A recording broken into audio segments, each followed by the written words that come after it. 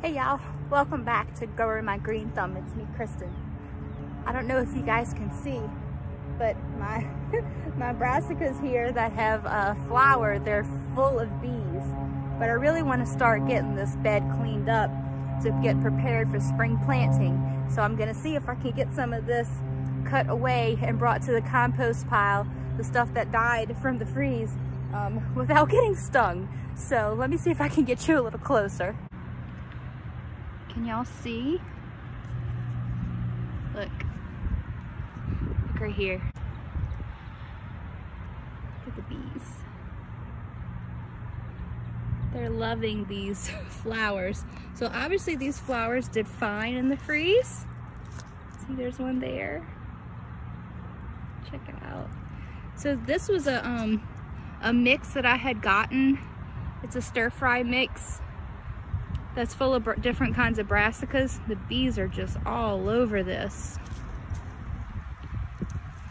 So I'm gonna see if I can get some of this dead stuff down there and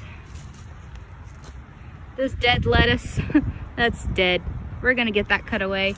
And my celery back there, that celery is doing good. I'm gonna keep that. I'm gonna um just get rid of some of that dead stuff there. This is another dead lettuce right there. I'm gonna clip that away. I have some kale that are surviving. I'm gonna keep those. And then I have my beautiful little cabbages here. I'm just gonna clip away the dead leaves or the old leaves that aren't looking so good. So let's see if I can get you a good angle. Look at that bee. Let's see if I can get you a good angle and hope I don't get stung. All right, hang on. Y'all, so I think this angle will work. This here is one of my lettuces that I had. This died in the, the freeze, and I would be able to tell you what kind it was, except for my tag faded because I used that permanent marker. But I got my new marker, so hopefully my next ones will, be, will work. So I'm gonna cut this one away. I'm just cutting it right at the soil level. I'm not gonna dig up the roots the roots will decompose in place and that'll be really good for the soil life. This is the same type of lettuce. This was some a romaine type lettuce and it's, it's dead too. So I'm gonna do the same thing. Here, this one actually looks like it still has some signs of life. I'm just gonna peel away some of the, let the leaves that are looking kind of rough.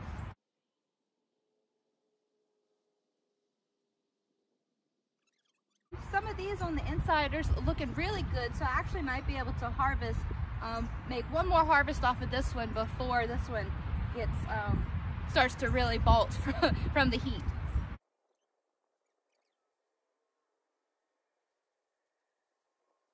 These are two pieces of the celery. You can see the celery. This is actually one, I didn't grow this one from seed. This is one that I, uh, I just cut the bottom off at the grocery store and I stuck it down in the soil and it's doing great. Now it's not making like really thick ribs like you would um, buy at the store, but they are very, very tasty and the leaves are good too in a salad. So hey, it's free food. So try it out, see if it works for you.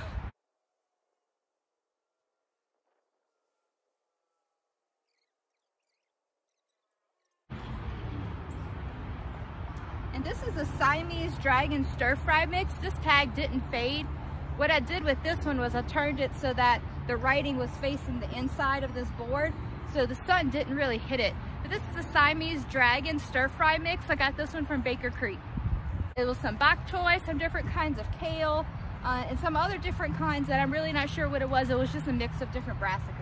I'm gonna speed, I'm gonna uh, speed this up for a little bit because it's gonna be more of the same, me dodging bees and uh, just cleaning out some old dead leaves. So I'll bring you back when most of this is done.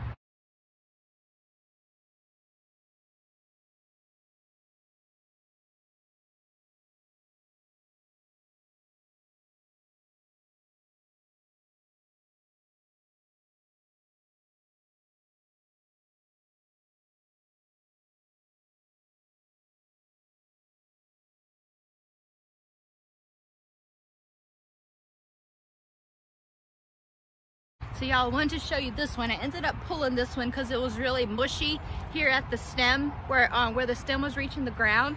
But I pulled this one. I wanted to show you.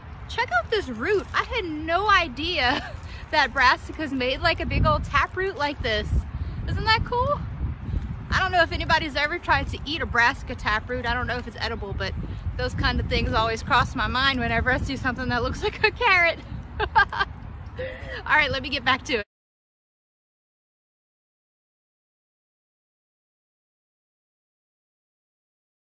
Okay, y'all, I got this one more or less cleaned up.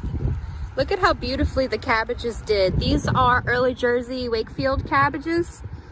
They're still doing really beautiful. They haven't made a head yet, and really it's starting to get warm. It's gonna be 81 today um, in the afternoon, so I don't know if I'm gonna get a head off of these, but they're really, really pretty. Those, it looks like there's little green roses really, so I'm gonna keep them in the garden until it's time for me to really get my plants in for the spring. I wanted to show y'all this. I bought this one because it's supposed to be a spinach type substitute and uh, so this is New Zealand spinach. I put these seeds in the ground here on October 4th. This is what they look like after the freeze. They uh, had a lot of damage. I pulled that away, but you can see some new growth coming in here and here. So these were not covered during the 16 degree freeze that we had. So you can see that these, um, they'll, they'll survive. I didn't really care for the taste of them that much. I did taste them earlier and um, they do taste kind of grassy. It's not one of the best tasting spinach substitutes I've ever tried. But nonetheless, it's good to have a variety of plants to try and eat. And this here, I'm, I'm disappointed here. This was looking really good before the freeze, but it froze. This was lovage. Now it might come back though because it is perennial and it does come back in other areas where they get freezes. So I'm going to leave this spot right here undisturbed and hope that it comes back from its roots. Here I got this bed pretty much cleaned out. I'm leaving all of these flowers for the bees right now. I'll get this little area cleaned out some more um, once I start get some other things flowering. I'm leaving these kales because this is one of my favorite type of kale, even though some of these uh, leaves are damaged. I'm leaving these because I love this type of kale. It's Ragged Jack kale right there. And I do have a couple other brassicas. This looks like a tatsoi. And this one's flowering. I'm gonna leave that one. I'm sure that one will make some yellow flower similar to these other uh, mustard green types. This is a bok choy right here that's flowered. Right there. All the brassicas make flowers that look like that. And all of my bok choy have flowered. Oh look, say hi to the bee. This is why we're leaving them, y'all. Let me see if I can get a picture of that. Aww. I hope I got an awesome picture of that. Let's see if I can get it with the, um, that in the, with the, Okay, I think I got a picture of that, yay. So here we have some more. This is another, um, let's see, that was in that Siamese dragon mix, so I'm not sure exactly what type of brassica that is. That might be some type of kale or mustard. I'm really not sure, but I'm gonna let that grow because it looks really good and it's not starting to bolt yet, so I might be able to harvest another set of uh, greens for stir fry off of this one. And look at my celery back there. It did great with the freeze and my lone that's my lone romaine lettuce that survived right here out of like five or six.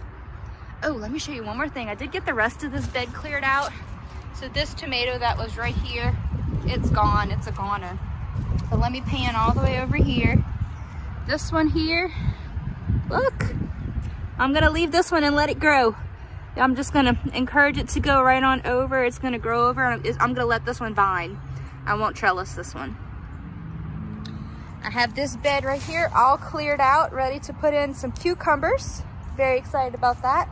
And let me show you on the other side of my cattle panel trellis here. Here's my trellis. Here we go. This is where some more cucumbers or other climbing squashes or something like that. I'm not sure yet. I'm gonna put here. Let's have a look at here. I haven't cleaned out this bed, But this is my tomatoes that actually had a little bit of fruit on them with the freeze. Need to clean out this bed, the purple orach. And, but look at this. This tomato is growing. I'm so excited. Look at that. And let's just see. Look at our plants hardening off. Doesn't that make you excited? Sure does make me excited. They look so pretty. There's, I can tell these peppers, watch, watch when I get to the peppers. Look y'all, they started to grow already just from being outside. They just really needed some good sunlight. There's the onions. And there's some more cucumbers. Check out that bloody dock. That one is so beautiful. So, okay. I just finished cleaning out this lettuce bed here and I want to show you what survived the winter and uh, give you a little glimpse of how things are looking after the 16 degree weather we had like two weeks ago. So this one here is the bronze arrowhead. This one looks um, pretty similar in color. I'll pan over here to this bronze mignonette. The coloration this is, is very similar. I think it's just the shape of the leaves that's different. Over here, I have this, I don't know, Baladi Aswan lettuce. It's pretty much just like your typical romaine lettuce. And this one was really, really pretty. This is the Freckles romaine lettuce. This one did really well with the freeze and you can see this one has come back much quicker even than the other ones. And then I have this other one way back here. This one is really pretty too. It's the devil's ear lettuce. That's one of the other bronzy colored ones that I have. So this is my lettuce bed. This is what survived the winter.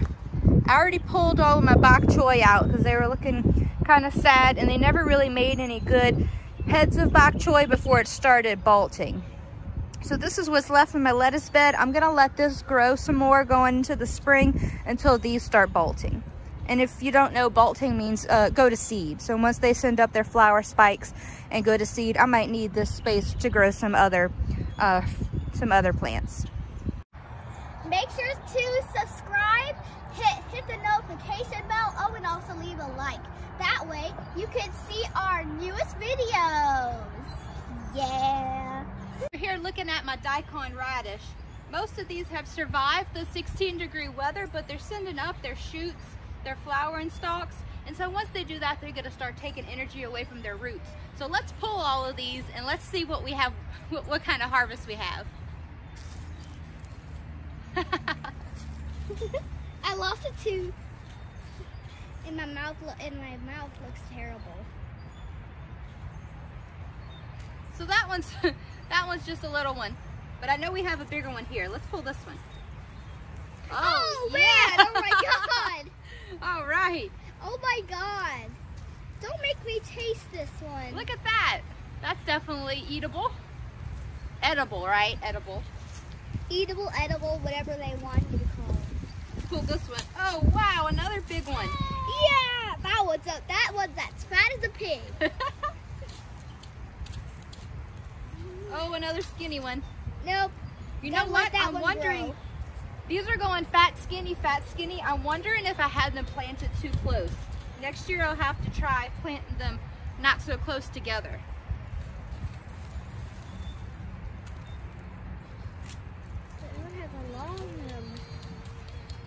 Most of them are really skinny. Yeah, some of them are really skinny. I already pulled the biggest two, so that could be part of it too. All right, this is our last daikon radish. Mm, I'm all not. Right. I'm gonna cut off all the tops and we'll show you all the roots.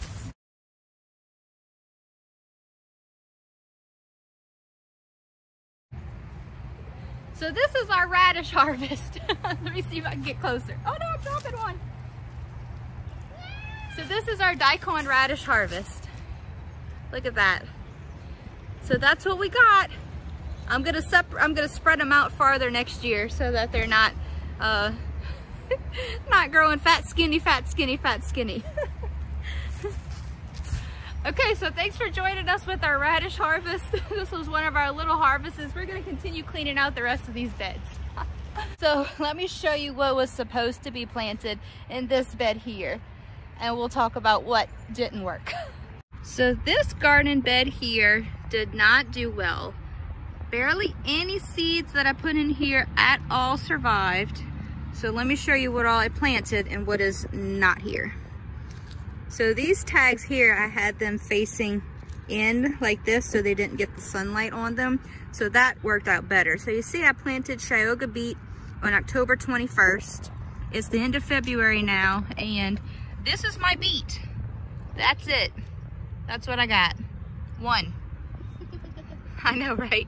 I might have one tiny little plant there. We'll see. I have that. We'll see. I don't know if that's a beet or, or not, but there it is. We're gonna let it grow. Sorry, I'm making y'all sick, I know. I don't have a, a stabilizer on here. And let's see what else was supposed to be in here. Golden beet. Okay, I'll show you my golden beet row. There's my golden beet row, and there's my golden beet. That's it. That's what I have after the freeze. And nothing was really growing before the freeze either. So beets did terribly for me. Also carrots did terribly for me. This was this was Scarlet Nantes carrot. And the next row was supposed to be um, this Tonda, Tonada Parigi carrot. You see these were planted in October. These were seeded in October. And I have two little carrots here. See that? Look at how little that is. That's it. So I'm gonna let these grow some more because that's all I got. Let's see what I got over here. Nothing, nothing, nothing. And one more tiny, tiny carrot that doesn't even have a root yet. And this tiny little thing right here, that's a golden purslane. I planted a golden purslane in here and it seeded itself I'm pretty sure that's what that is. So I'm gonna let that grow right there. And it's so, it's so tiny, look how tiny it is.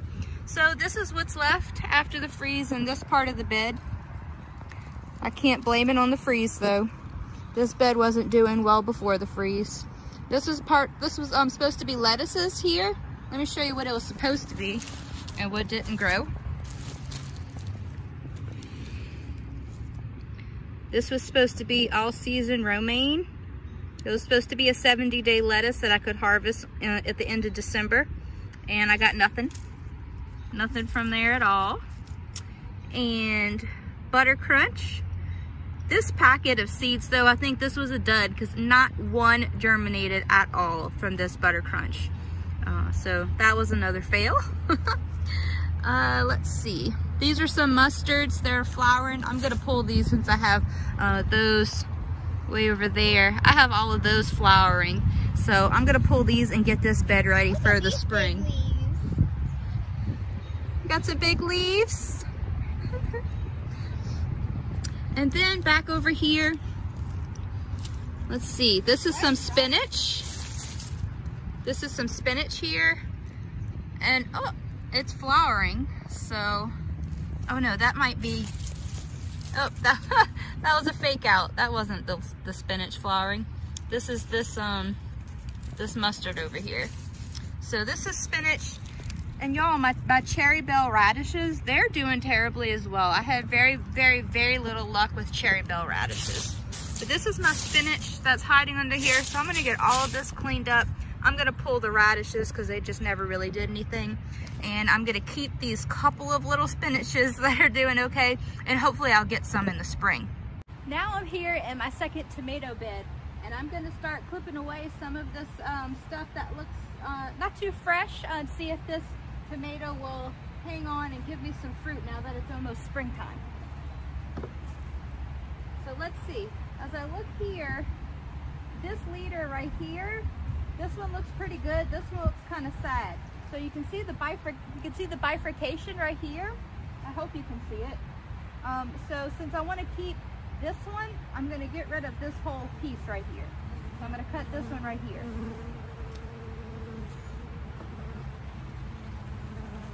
And then on this piece here, this looks sad, this looks sad, and this one looks sad. So I'm gonna encourage this one to grow up through here. So I'm gonna snip these away.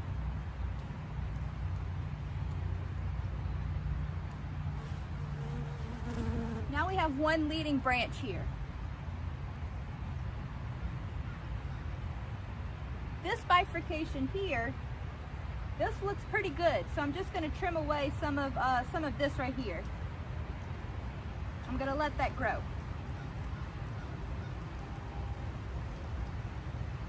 Again, this one I'm gonna do the same, just trim away this dead stuff.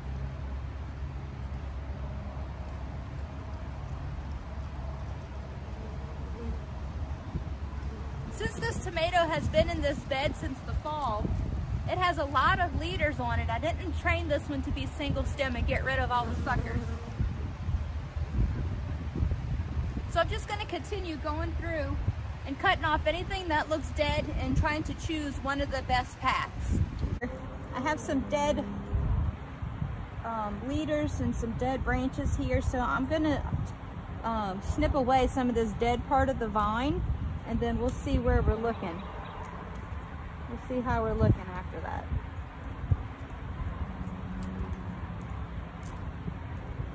Just snipping away all of this dead part right now.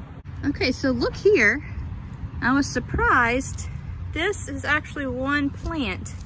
You can see here, I had buried the stem, and so this all rooted and bury that back, and it made, you know, two different stalks here.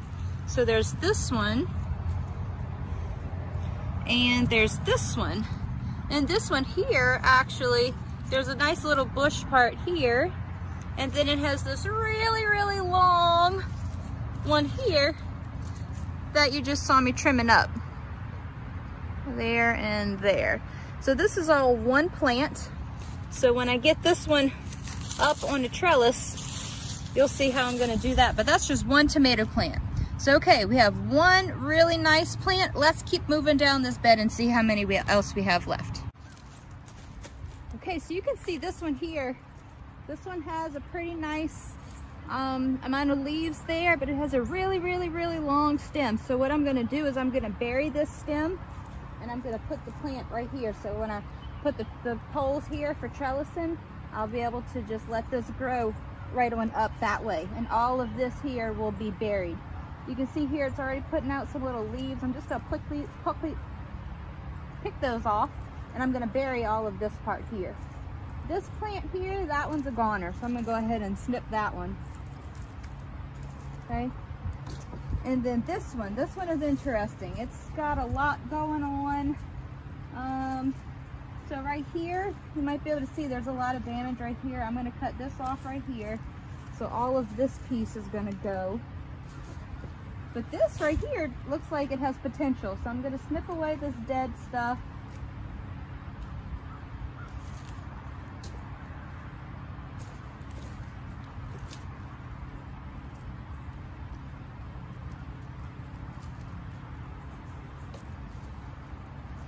snip this away.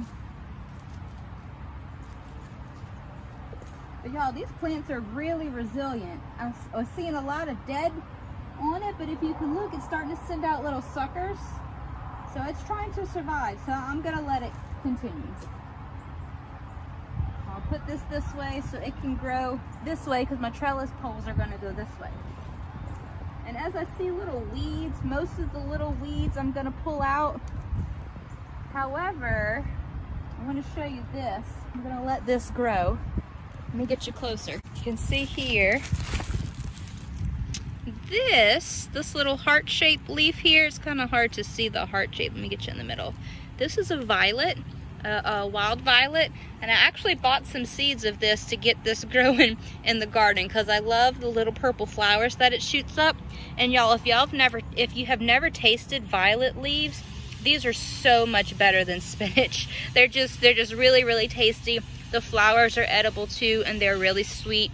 So I love adding some violet leaves into my salad and violet flowers. So I'm definitely gonna leave this in the potager garden. And look, we have one more tomato over here to get this one cleaned up. So that'll be a total of four tomatoes in this bed that survived the winter. One, two, three, and four. So let's get that one cleaned up. Okay, let's see what we're working with in here. Um, stick. I'm just gonna start by cutting away this dead stuff. This whole little piece here looks dead. Snip that away, and this one, this one here, this one, this one. Um, I have a lot of dead on this one. Um, okay, so some of this leaf damage um, was from the cold and I might have just killed it. You heard that little snap? I just twisted this vine here. Okay, well, since I damaged this right here by handling it, uh, this one's just gonna have to be forfeited. So I'm gonna snip this one away, even though it had some flowers there. Oh well, throw this one by. So three tomatoes left in this bed that survived the winter in my cleanup. Let me show you guys what I found when I was cleaning out this tomato bed. Sorry, I had my finger in there. Look at him. Yep. He's one of the guys that eats your vegetables. He especially loves brassicas, but he again, he's not too picky. Um, so he's gonna he's gonna get removed and placed somewhere else. And let me show you over here, this tomato wants to survive. Look at that, it's sending up a little, a little sprout, a little shoot from the base there. How cool is that? Okay, so I got this last tomato bed cleared out. Let me just give you a glance. We have one, two, three, four, five, six. this one is massive. It wants to survive. That one's six. And then uh, I know these three are definitely Creole. So this is one here. So I make seven, eight, and nine. So nine tomatoes survived our winter, including our 16 degree weather. Can you guys believe it? Awesome. Look at those tomatoes. All right, I'm gonna let y'all go.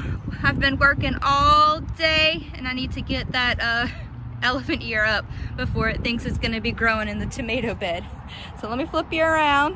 Whew, so we did a lot, a lot of work today. So thanks for joining and I hope this was fun for you. It was fun for me and I hope you maybe learned something or laughed at my fails or you know, whatever. so thanks for joining and I'll see you in the next video.